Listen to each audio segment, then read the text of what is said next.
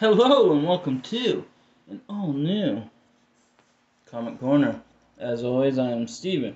Today, another comic call. I went, I got a little bored waiting to get go to work, so took off to Waterville and picked up a couple of books from Comics, Cards, and Collectibles because you have to make a appointment at Black Cape and they're mildly irritating. Um, so I picked up issue five of The Last Ronin. I can almost start reading it now. I think I got a couple copies of a couple of them. Just haven't started reading them. Unholy number five. Pillow cover for Sherry. Got was coming from Black Cape too. Which is why I didn't pick up a lot of comics, cards, and collectibles, because I already got invoice for this one and a couple others I was picking up for Sherry. Um, if they get finally get my invoice straight and take off the comics they put on there that I never ordered, then I should have them in the next week or so. This next comic, I, saw it there.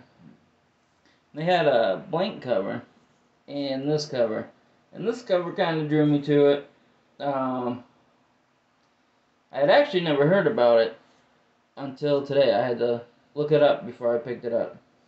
And apparently it's about uh, Persephone um, and a night of debauchery.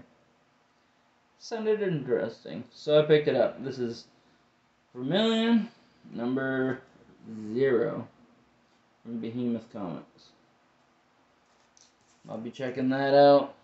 I should have got two copies. Sherry will probably take this over because she digs covers kind of like that.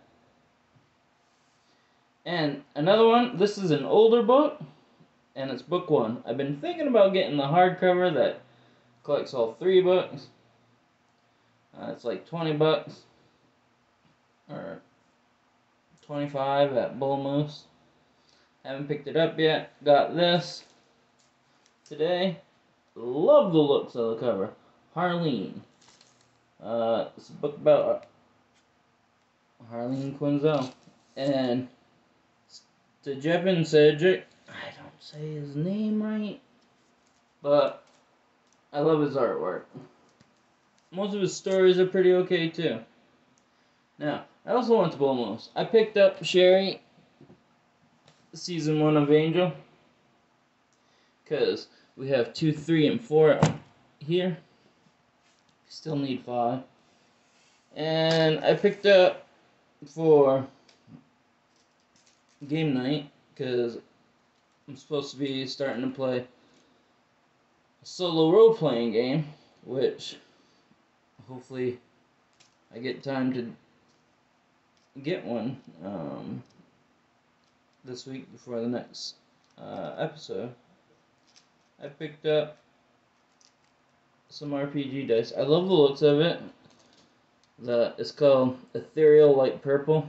You got the light purple flecks and the clear. I don't know how well you can see them. And they're mini dice. It's kind of cool. I like it. So yeah, those are my pickups for today. And until next time, I'll see you later.